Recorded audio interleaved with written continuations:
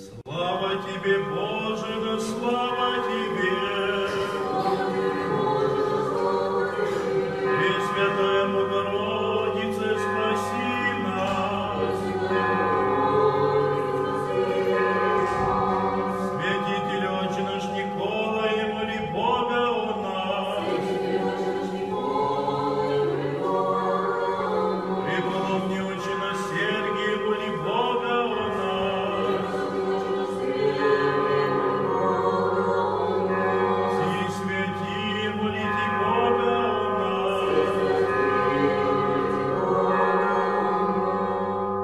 Во имя Отца и Сына и Святого Духа.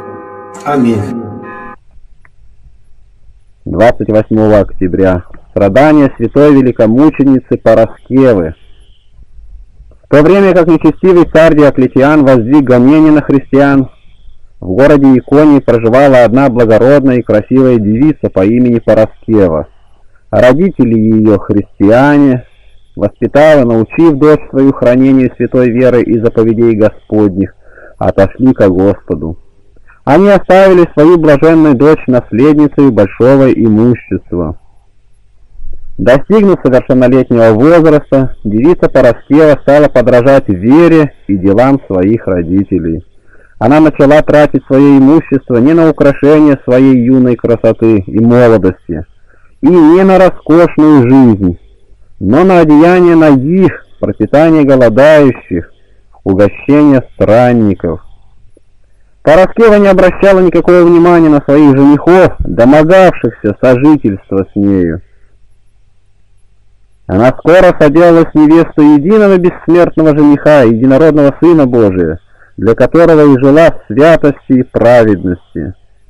Пресвятое имя Его она исповедовала перед людьми непрестанно, всякий день приводя их тем к познанию истины. Некоторые из людей уверовали в Господа нашего Иисуса Христа, а другие неверующие злословили святую. Пороскева же смело проповедовала перед ними Слово Божие и изобличала суету бездушных идолов. Не желая слушать от нее таковых обличений, неверующие граждане схватили ее и предали побоям, а потом ввергли в темницу. В то время в Иконию пришел некий военачальник, присланный в эту страну императором Диоклетианом с целью истребить там всех христиан. Граждане, приступив к нему, сказали, «Светлейший военачальник, в этом городе есть девица, которая верует в распятого Христа и проповедует его. Она занимается волшебством, и немало уже людей отвра- отвратила своим чародейством от принесения жертв нашим богам. Она не перестает произносить хуление на изображение наших богов и на самодержца. Услышав царское приказание о том, что должны быть казнены все не поклоняющиеся богам, мы схватили эту девицу и держим ее в темнице. Выслушав это, военачальник приказал представить святую перед ним на суд. Когда святая была приведена на судилище, то все увидели, что лицо ее сделалось светлым, так что все удивлялись и говорили, почему же печаль нисколько не удручена, удручила лицо, что лицо ее так сияет. Когда она стала перед судьями, военачальник посмотрел на нее и, удивившись красоте и благородству ее лица, сказал предстоявшим, «Вы напрасно оклеветали эту прекраснейшую девицу. Невозможно погубить такую солнцеобразную красоту». И он сказал ей, «Девица, скажи нам твое имя». Святая Параскева отвечала, «Я христианка, раба Христова». Военачальник сказал, «Созерцание красоты твоего лица склоняет меня к кротости, а исходящие из твоих уст слова возмущают до глубины души. Я не желаю слышать таких речей». Святая отвечала, «Всякий правитель, производящий справедливый суд, слыша правду, радуется, а ты, выслушав сказанную мною истину, прогневался». Мучительно это сказал, «Я потому гневаюсь, что не получил от тебя ответа, ведь я спросил тебя о твоем имени, а ты мне его не сказала». Святая отвечала, «Прежде всего мне надлежало сказать мое имя по вечной жизни, а потом уже объявить имя по жизни временной. Итак, Я сказала свое имя по жизни вечной, что я христианка, Христова раба. А по временной жизни я родителями наречена Пороскева, так как родилась в день Пороскевы. Пороскева по-гречески значит «пятница». Родители мои, продолжала святая, шестой день, который является вольными и страданиями Господа нашего Иисуса Христа, всегда почитали постом, молитвами и милостынями. В честь Христа, веруя, что из любви к человеческому роду в этот день Он излил свою кровь и положил за нас на кресте свою жизнь. Бог даровал им плод честного их супружества, меня, недостойную свою рабу, в тот же именно день, который они добродетельно почитали, воспоминая страсти своего владыки. Им заблагорассудилось дать мне то имя, которым называется этот день. И вот от дня Пороскевы я именуюсь Пороскевою. Я общий со страстям Христовым. Военачальник сказал, «Перестань говорить эти безумные слова и принеси жертву нашим богам, Тогда я возьму тебя в жены, и ты сделаешься обладательницей большого богатства, и многие тебя будут величать на земле. На это святая Пороскева ответила, «Я имею жениха на небе, Иисуса Христа, и в ином женихе не нуждаюсь». Тогда военачальник сказал, «Я помилую твою красоту и пощажу юность твою». «Не щади временной красоты», — сказала святая, — Ныне она цветет, а на утро увянет. Помилуй лучше себя, ибо тебя ожидает вечное мучение. После этого военачальник разгневался и приказал разодрать на ней одежду и бить ее суровыми жилами. В то время как били святую, она не испустила ни одного звука, но молча устами, сердцем взывала ко Христу и спрашивая у него помощи в мучениях. Военачальник же все еще щадя красоту ее, ведь он поражался и соблазнялся ее красотою. Приказал перестать бить ее и стал кротко говорить ей, «Девица, пощади свою юность, не губи своей прекраснейшей молодости. Принеси жертву богам, и ты будешь жива и удостоишься еще большего от нас почета». Она ничего не отвечала ему на это. Тогда военачальник, разгневавшись, сказал, «Мне ли ты злое христианское отродье не отвечаешь?» Святая на это плюнула ему в лицо. После того мучитель, страшно рассверепев, приказал повесить ее на дереве и нещадно драть ее ребра железными когтями и растирать в лосенице ее раны. Ее плоть таким образом была изодрана до костей. Правитель думал, что мученица скоро умрет, так как она едва уже дышала. Снял ее с дерева и ввергнул в темницу. Когда она лежала здесь еле живая и уже безгласная от жестоких ран, в полночь явился ей ангел. Плечи и грудь его были перепоясаны крестообразно золотым поясом, а в руках своих он держал орудие христовых страданий — крест, терновый венец, копье, трость и губу. Ангел сказал ей, «Девица, общий Христовым страстям, восстань! Я прислан посетить тебя. В утешение же твое в страданиях я принес орудие страстей Господа нашего. Взгляни на честные орудия, крест и терновый венец нетленного жениха, Посмотри на копье, прободшее животворящее ребра, на трость, написавшую прощение грехов всего мира, и на губу, которая стерла Адамов грех. Итак, восстань! Христос Господь исцеляет тебя.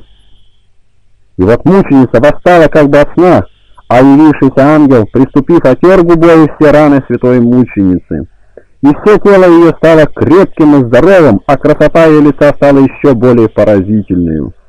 Она облобызала орудие христовых страстей, а равно также поцеловала явившегося к ней ангела и прославила Бога. Небожитель после всего стал невидим.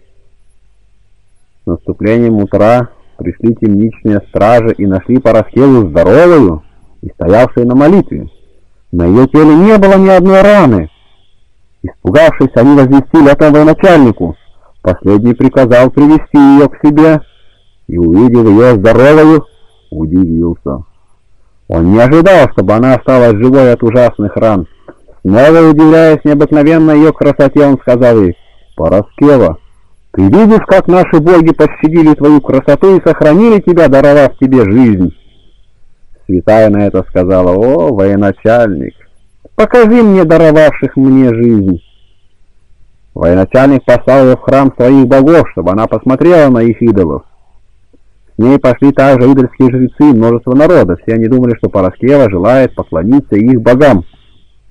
Когда они вошли в храм, в котором было множество идолов, Пороскева мысленно помолилась единому истинному, пребывающему в вышних Богу, и, схватив за ногу идола Аполлона, сказала, «Я тебе, бездушному и всем вместе с тобой находящимся тленным идолом, говорю, так приказывает вам Господь мой Иисус Христос, подите все вы на землю и превратитесь в прах».